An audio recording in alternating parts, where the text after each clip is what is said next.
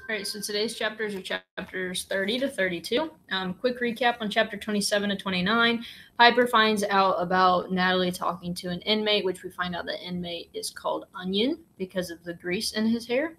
Um, Piper won't leave it alone, and she really wants um, Natalie to go back and meet this inmate so that way she can find out a way to meet other inmates. All right, so chapters 30 to 32. Chapter 30I. Tuesday, May 7th, and Wednesday, May 8th, 1935. All I think about is telling my mom about 105. She'll say ugly things, but then it will be done. I'll never be given this kind of responsibility again. I'll go back to being a kid, the way I was before moving to the stupid turd covered rock. Natalie will be safe and we can all move somewhere else. I would do this in a flash if it weren't for my father. I can't stand to disappoint him again. I try to forget all of this, try to stop the churning in my mind, but as soon as I do, Natalie mutters 105, and I'm back into it again. She's always had a number of the week, as my father calls it. It's usually the number of buttons in her collection, or shoes in my mother's closet, or spools of thread in the drawer. Ever, every day, or ever since the day I lost her, the number has been 105.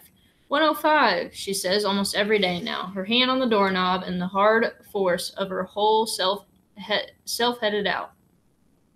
But somehow I keep her inside. I let her play with her buttons and feed her four pieces of lemon cake while she sits by the door. On Tuesday, when my mother comes home, she seems to know we've stayed inside again. Of course, I've managed to separate Natalie from her buttons before my mom walks up the stairs from the dock. Even so, my mother knows. And when Natalie refuses to eat one bite of supper, so stuffed is she with lemon cake, my father knows too. I hover around my father. When he says he has to help the warden with a project after supper, I offer to go with him, beg him, actually. I don't want to be left alone with my mom, but he says he can't take me. There's a problem in the cell house kitchen where I'm not allowed to go. Moose, my mom says as soon as my father is gone. I have a lot of homework, I say. My mother nods. I can't bear this. It's in my head, and the sentences I plan to tell her the truth. I let my sister hold hands with a convict. They were all they were alone together twice, three times. I don't even know how many. I was over there looking six, seven times. I wish I could make my mother understand how much more complicated this is than she thinks. But the only way to do this is to tell her what happened, which I can't seem to do. My mother doesn't yell about us staying inside. Not one critical word comes out of her mouth. She doesn't have to say anything. The air itself carries her blame. I feel it when I breathe. We both keep our space, never passing close to one another, like magnets set to repel. The next day, when the door closes behind my mother, Natalie says she, what she'd said all day long the day before 105. No, Natalie, not today. Today we're doing buttons, I say. But the buttons aren't in the bureau drawer. They aren't on top of the icebox or in the cupboard by the stove. They aren't in my mom's closet on the or the bread box either. I turn the place upside down, searching every drawer twice, but I know I won't find them because they aren't there. My mother has taken them with her. I didn't see her do this, but I know she has. The only thing I can do is keep Natalie inside. I look for cake. One slim piece of lemon is all I find. Half a piece, really. Natalie looks up at me. She has washed my feet as I've watched or as, as I've looked for her buttons. I can't tell if she knows exactly what's going on, but she knows something. Fine, I say, pulling open a drawer for the third time now. Fine, we'll. I let the sentence drift off. Then I march to my room and get my math books and stack them by the door. We'll read math books all afternoon. I'll stand in front of the door. I won't let her pass. I'm stronger. I have 40, maybe 50 pounds on her. Natalie is rocking wildly like a little boat in a ship's wake. 105, she says. No, I say. Buttons, she says. Numbers, I say, cracking open a book and offering it to her. Look, Natalie, you can read about numbers. Buttons 105. She's rocking crazy hard. Why not just let her throw a fit? Why try so hard? Outside, buttons 105. She's spinning now. I try to ignore her. I open my book, but I read the same sentence over and over. The meaning won't go into my head. Stop it, Natalie, I yell but she's losing herself. The scream has started. It begins low, like a piece of machinery that needs time to warm up. Stop it, Natalie. I holler loud in her face. Stop being like this. Don't you see what you're doing? You're not a little kid. Stop acting like one. She throws herself on the floor. She kicks the coffee table. Do you have any idea what you're doing to us? To mom and dad? You're making them old. They worry about you all the time. At least you can try. At least you can do that. Sometimes I think you don't even try, and I hate you for it, Natalie. We try so hard and you don't. I hate you, Natalie. I do. A vase hits the rug. It thumps hard, but doesn't break. She's near the window now, twisting, banging feet, hands flailing on the floor. The more I yell, the more she screams, like we're trying to top each other. My shouts are full of words, hers are only sounds, animal sounds, piercing and terrified. There's banging outside. I see through the window Mrs. Trixle's brand new red hair and short, round Mrs. Caconi trying to see what's happening. I'm surprised she made it up the stairs so fast. Someone else is banging too. Moose, it's me, Teresa. Let me in. Open up, Moose. What's going on in there? Bea Trixle calls. I can help. You need me, Teresa again. Teresa, go back inside, Bea Trixle tr- cries. Stop it. Stop it. I have my hands on Nat's arms. I want to shake her, shake her hard. My arms tremble with the effort not to. Natalie screams louder. I look into those trapped eyes. Wherever she is, she can't get out, which only makes her scream louder. And suddenly, I'm not angry anymore. Open the door, Moose. We're okay. I call, throughout, though I know how ridiculous this sounds. Please, Nat, don't do this. I run to the kitchen. How about some lemon cake? I plead. But she's well beyond lemon cake. She takes the cake, mashes it in her hands, and throws the plate against the wall, busting it into a, a billion pieces. Her whole body is moving in all directions as if she is as as if each limb has its own plan.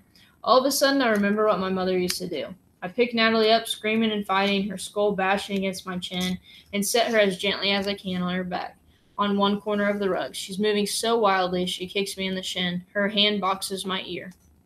It's hard to keep her in one place, but I grab hold of her waist and pin her down at one corner. I hold her in the corner of the rug and roll tightly, gently, using my knees to keep her in. When the rug is all the way around her, I wait, and slowly the fight begins to leak out of her. With the tightness surrounding her, she feels safe, secure somehow. She lays shaking, grateful and forlorn. In the stained red carpet, I breathe in a dust dust rug sweat smell. Mrs. Caconi and Mrs. Trixle are still banging on the door. They have gotten Mrs. Mattaman now. She's tall enough to see what's happening inside. She's holding baby Rocky. I ignore them and talk to Natalie in a sweet, calm voice as if she were a baby if she were a baby too. Natalie, how can I help you? Natalie is quiet breathing hard. She's calm now, except for her eyes, which seem to be moving back and forth in her head, as if they're still searching for a way out. You're okay now, Natalie. I stroke her tangled hair, my hand brushing against her hot, wet forehead. Moose, Natalie, outside, she says. Oh, Natalie, I shake my head. Eye, Natalie says. What? Something in your eye? Her eyes have slowed down. I look to see if something is in them. I can't see anything. Eye, Yes, I know you were upset. It's why your eyes are moving around that way, I say. Hi, she says. She's calm now. I unroll the rug. She sits up, both hands on her chest, petting it as if it has a full coat of fur. Eye, she says again. That's not your eye, Natalie, I say. That's your chest. Eye outside, Natalie says. You want to look outside? I check to see if Bea Trixle and Mrs. Caconi and Mrs. Mattaman are still there. They're gone. Maybe they realized we were okay and went away, or maybe they've gone to get a crowbar or my father. I look back at Natalie. Her face is scrunched up. It's crushed as if she wants me to understand, and I won't. I outside, she says loud, like I'm deaf. I say nothing. I don't know what she wants. Her face seems to close in with the effort. I want to go outside, she says finally. We're working on pronouns. My mom said this. Pronouns. Natalie, who never called herself anything but Natalie my whole life, just called herself I. Oh, I say, I want to go outside. My voice breaks. I want to go outside, she says, the look of relief on her face as big as 30 states. I open the door then. I do. How could I not? All right, so that was a huge moment there. Um, Natalie has only talked in third person up until this point in the book, and she's been working with Mrs. Kelly, and then now all of a sudden she has used her first pronoun and called herself I instead of Natalie. Chapter 31 My Dad. Same day, Wednesday, May 8th, 1935. We go to the parade grounds. Natalie gets on the swings. There's a mom there with her four year old son. She pushes him. I push Natalie. She's too big and too old for this. Her hips are too large for the seat. I ignore this. I ignore them. She can pump herself, but I know she prefers to have me push. After a few minutes, I notice her head is tipping to the side. I run around to the front just in time to catch her as she falls forward. She's sound asleep. Tantrums exhaust her. I can sure see why. They exhaust me too. I carry her home as best I can. She seems so solid, so big, a real grown up person in my arms. I stop often, leaning her weight on a cement wall, the edge of a building, the banister. I'm almost to the back stairwell when my dad finds us. He doesn't ask what happened, he simply takes Natalie from me, and I follow him to our apartment. We walk through the wild mess of our living room, rug pulled out from the coffee table, vases upended in a puddle of water, broken plate, slivers, and lemon cake scattered everywhere. My foot crunches the china pieces as I follow my father to Natalie's room. He places her gently on her bed and covers her with her favorite purple blanket. Then he goes to the ice box and opens a beer. He looks over at me, see, seems to think a minute, opens another, and pours a full glass for himself and half a glass for me. My father rarely drinks, and never with me. I had a few sips once at Pete's house, but I didn't like it much. That doesn't matter. What matters is he seems to understand. In the living room, he sets his beer down, picks up the vase, and puts it back where it belongs. I set my beer by his and get the broom. The room is silent except for the clock ticking on the mantel, the sound of sweeping, and the clink of china pieces as my father drops them in the metal trash tin. Dad, I ask, how come you always do what mom tells you? My dad makes a funny sound, a kind of laugh through his nose. He says nothing, and then a full minute later, I don't always, most of the time, my father swallows, considers this. Yeah, most of the time I guess I do. How come? I ask, sweeping a glass piece off the rug to the floor and up the incline to the dustpan. My father takes a sip of his beer. Things matter more to your mother than they do to me. What things? Everything. Everything? I ask. I'm watching him now, searching his golden brown eyes. Everything except you. My father bites his lip. The tears well up. He turns away and busies himself tugging the rug back in place. I strain my eyelids open and try to breathe the tears back in my head. I look down, and then take a breath. Dad? I ask. I'm going to tell him what happened now I am. Yeah, he says. Did I cause Natalie to be the way she is? The question seems to come from somewhere deep inside of me. Moose? My father freezes, his eyes riveted on me. Something I did? You said she got worse when she was three. That's when I was born. Was it me? I concentrate on the rug. M- moose. My dad grabs my shoulders and he looks straight into my eyes. I don't know, he says, taking a teary breath, what caused Natalie to be sick. But I didn't I don't think anyone knows that. But I do know this. He bites his lip, his voice so full of feeling he's having trouble speaking. Absolutely. Absolutely for sure. It had nothing, nothing at all to do with you. Chapter 32 The Button Box. Same day, Wednesday, May 8th, 1935. When my mother comes in, Natalie's button box clattering against the sides of her purse, she sees me with the beer. Her eyes register the shock. What happened? Where's Natalie? she asks, her voice sharp and tight in, in, in her throat. Natalie's fine. She's asleep in her room, my father says, but I need to talk to you. Me? My mom asks, her voice high and childlike. Yes, my father says. My mother's eyes dart to me, then back to my dad. Just you and I my father says, cocking his head toward the bedroom. I don't want to talk here. My mother nods. She follows my father into the bedroom. At first, it's quiet in there. Hushed voices muffled by the closed door. Then the voices get louder and more angry. My mother cries. My father is angry and firm. I hear my name. I walk closer to the door. Look, my mother says, I'm not taking any chances with this. Mrs. Kelly says, I know what Mrs. Kelly says. I'm talking about Moose now and what he thinks. He's good with Natalie. They've worked out a relationship. We have to respect that and trust him. Well, yes, but you have to let him care about her in this way.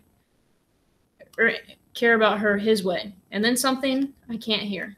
I got one child who has everything, my mom says. Big, strapping, healthy, smart, makes people laugh. Got kids coming over looking for him night and day, just like at home. Little ones, big ones, and the girls. They all like Moose. But Natalie, Natalie doesn't have the whole world looking out for her. She needs me. Moose needs you too. Fiddlesticks, Cam.